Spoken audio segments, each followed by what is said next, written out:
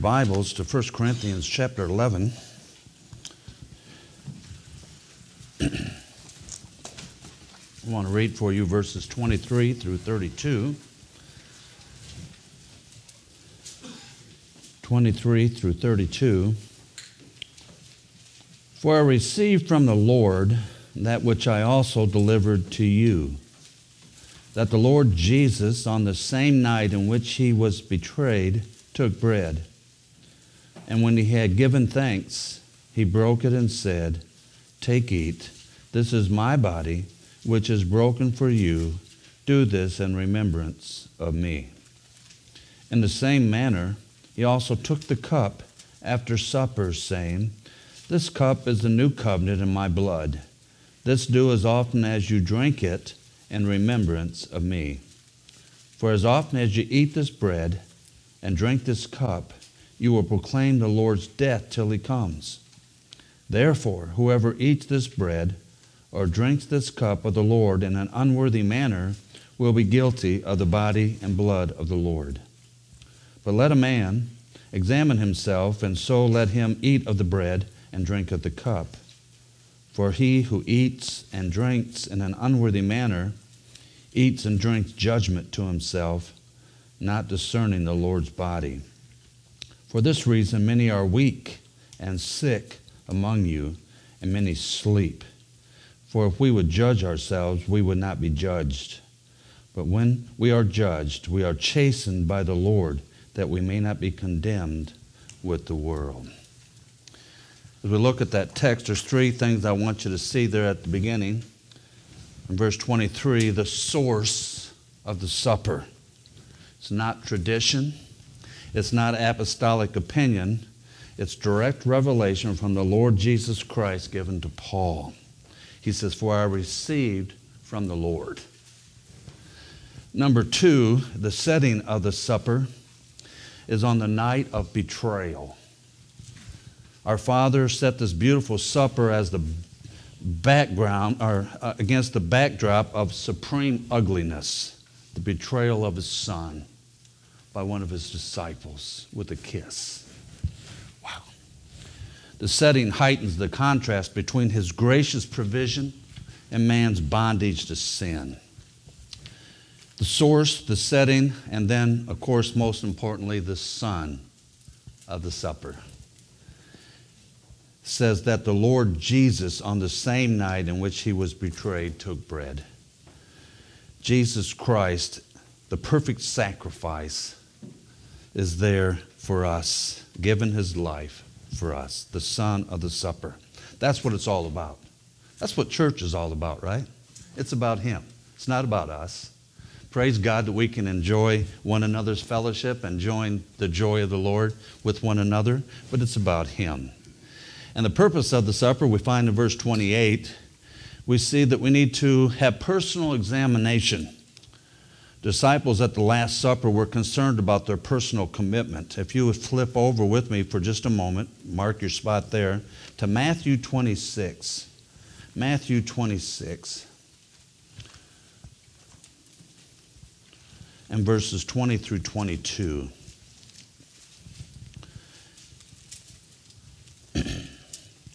says here in verse 22 of Matthew 26, and as they were eating, they said, He said, Assuredly I say to you, one of you will betray me. And they were exceedingly sorrowful. And each one of them began to say to him, Lord, is it I?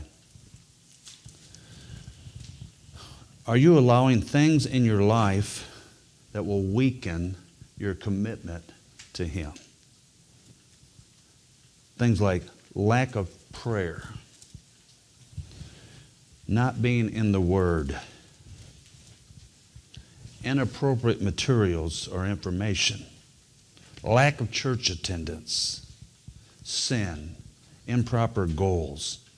Where's your focus in life? If Jesus were sitting here and said to us, One of you will betray me, would it sadden your heart? I hope it would. I hope it would. Believers today are called to a time of personal examination. That's what it tells us there in verse 28. He says, But let a man examine himself. 2 Corinthians 13 5 says this Examine yourselves to see whether you are in the faith. Test yourselves. Do you not realize that Christ Jesus is in you, unless, of course, you fail the test? Otherwise, he's asking you, do you know you're truly saved? Are you coming to the meal as a member of the family? And you know what? Only you can answer that question. I can't answer it for you. Your mate can't answer it for you. Your daughter can't answer it for you. He's asking that. And you say, well, how do I know? Well, Galatians 6 4 says this, but let each one examine his own work. Are there works in my life that prove I know the Lord? Examine yourself. Do your actions show that your life is committed to Christ? Then I'm going to ask you to turn to another passage as we look at personal consecration in Psalm 139. Beautiful, two beautiful verses. Psalm 139 and verses 23 and 24.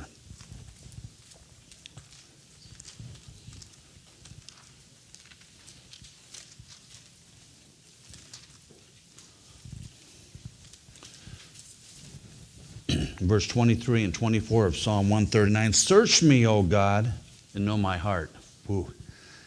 That's, see, that's what God's worried about your heart. He's not worried how pretty you look on the outside, He's wanting to know what you look like on the inside. So you're asking God, say, Lord, would you show you would you look right down and deep inside here and search me and know what's going on inside?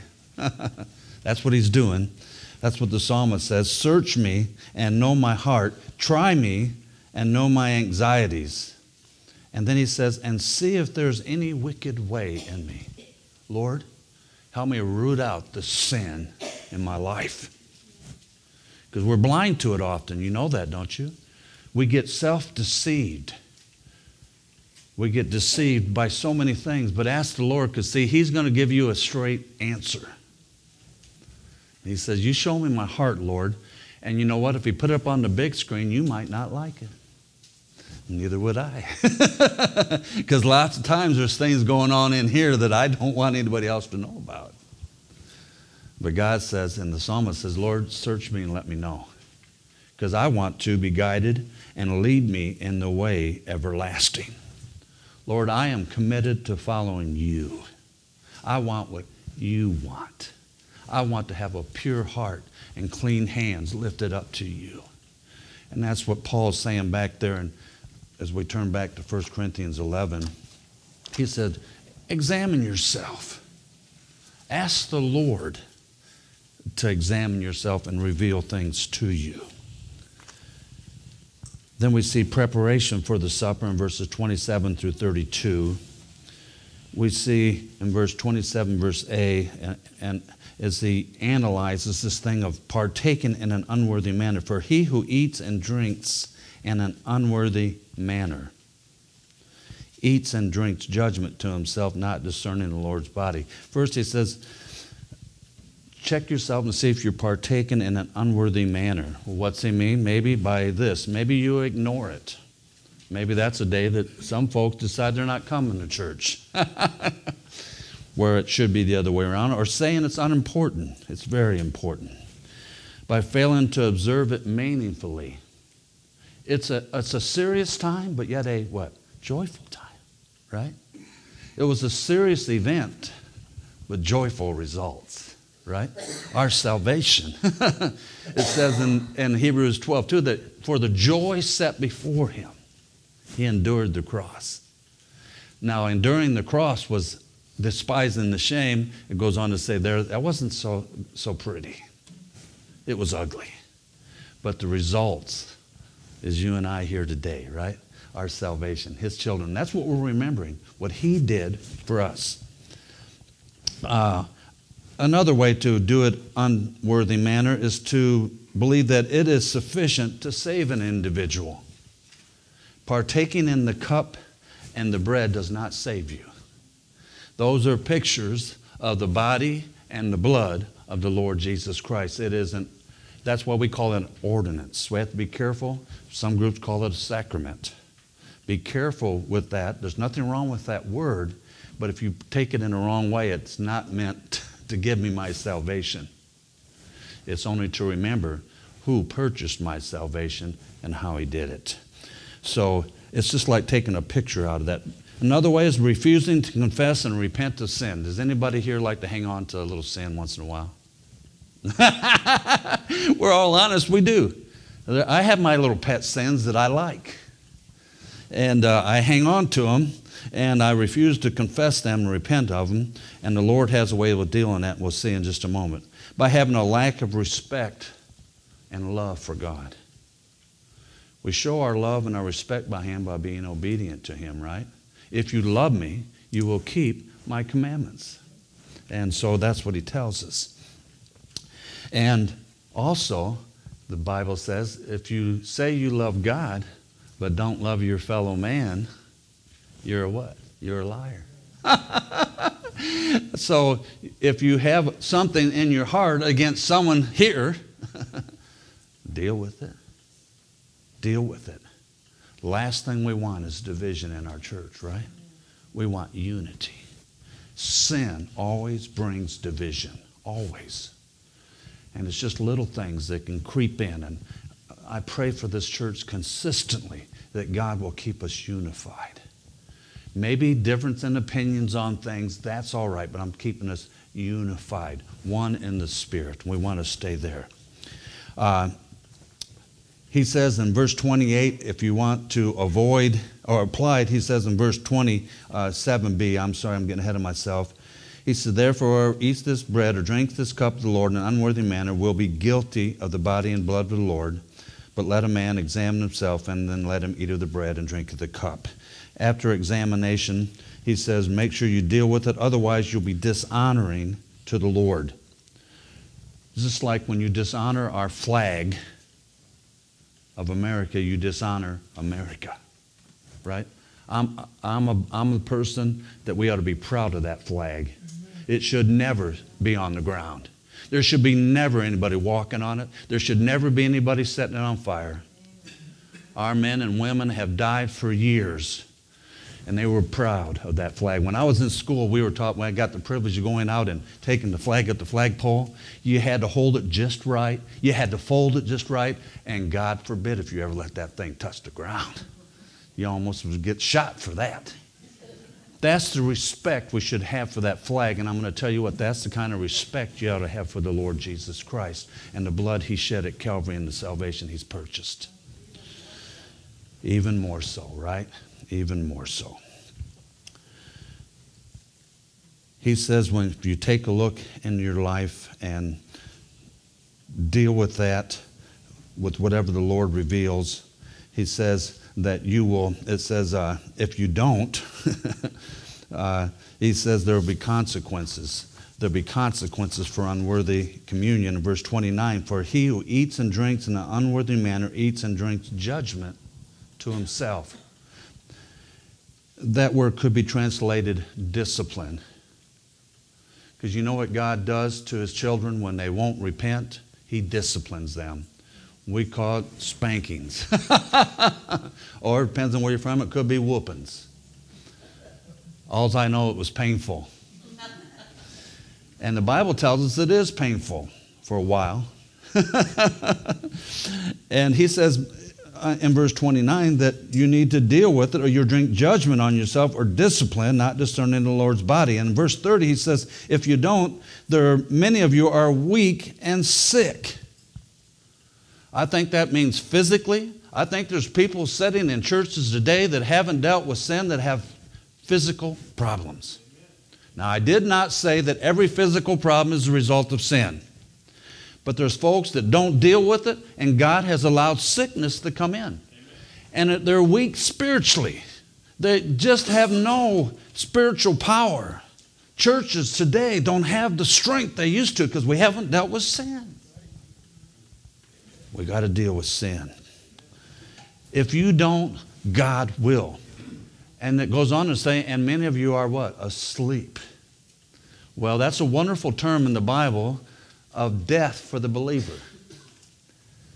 It says, Some of you are dead because you haven't dealt with sin in your life. That word sleep, I wrote down a definition that I really like. It's, it's a death in anticipation of the resurrection, right? I just go to sleep. As a believer, I go to sleep and I wake up right in the presence of God. Isn't that great? And one day this body is going to come out of the, and a lot different than it is now, praise God. And it's going to come out of that tomb and be resurrected with my spirit and it's going to be united and I'm going to be with the Lord forever. And we're all going to have new bodies. And Fred and I were just talking about that this morning. We're ready. And uh, Larry was talking about his is groaning. And it just more and more groaning going on when I get up from places and when I get down, like Shirley said in Sunday school, she wanted to come forward on the altar, but she knew once she got down there, she couldn't get up. She didn't want to be crawling all around in front of everybody. But God says that if we don't deal with it, He will in our lives. Sin is serious business. It's what nailed Jesus Christ to the cross. And He has given us a provision that we don't have to walk in that manner of life anymore. So He says, if you don't deal with it, He will. And then in verse 31, He says, but if we would judge ourselves, we would not be judged. So if we deal with it, the discipline is avoided we get cleansing.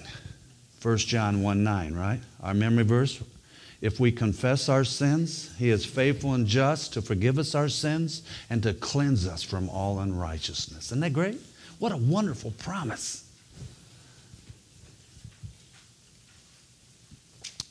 Obedience has divine blessings tied to it. Obedience has divine blessing tied, tied to it as we look at the bread and the cup as we wind this down, we see the bread is a picture of Christ's body.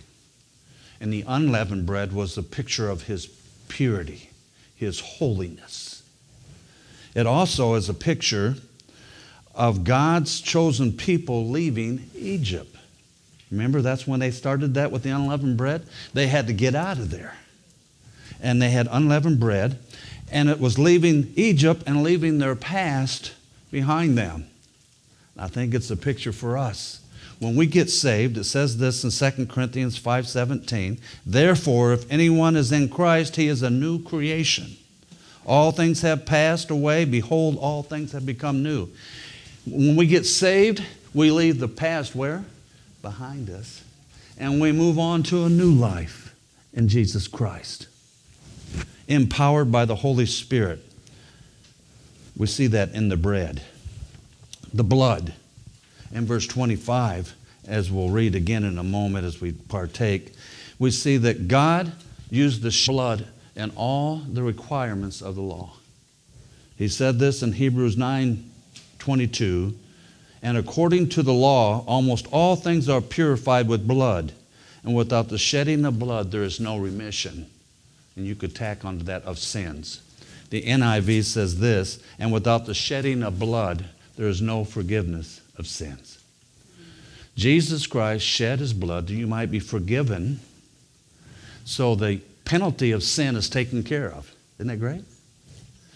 Now, now, he didn't leave you there. He placed the Holy Spirit inside of you that you now can have victory over the power of sin. Isn't that great? we can no longer say this word, the devil made me do it. That dated me a little bit there if you were a Flip Wilson fan. Because he used to say that all the time the devil made me do it. Well, you know what? The people of the world can say that because they're under the control of the devil. But as saved person, I can't longer say that. I can say no to the devil, right? Isn't that great? I can say no. Devil, get behind me. I no longer am under his spell. I've been set free from the power of sin. And you know what's wonderful? What we're all waiting for? One day we're set free from the presence of sin. It's called heaven. Everything good. Isn't that great? Streets of gold. What men fight after and kill for today, we're going to walk on one day. So pure that you can see through it. I don't understand all that. I just know I can't wait to get there. Right? I can't wait, as we heard so many times this weekend singing, to cross the Jordan. I can't wait to cross the Jordan to meet my Savior face to face and be with Him forever and ever. Wow. Once a year on the Day of Atonement, a perfect, spotless lamb's blood was shed to cover man's sins. So you got to come to Hebrews. All these are out of Hebrews. That perfect lamb, they watched it and they picked that perfect lamb, no blemish, and then it would be sacrificed on the Day of Atonement. And then you know the verse well. When John the Baptist saw Jesus coming, he says, Behold, the Lamb of God who takes away the sins of the world. Wow. Your lamb has been sacrificed. He paid the price for your sins. He's given you ability to not be under the control of your sins and one day right from the presence of sin. That's what we're celebrating. That's what it's all about. Paul says, take it seriously but also exult in it. How wonderful it is to be under the grace and the blood of Jesus Christ.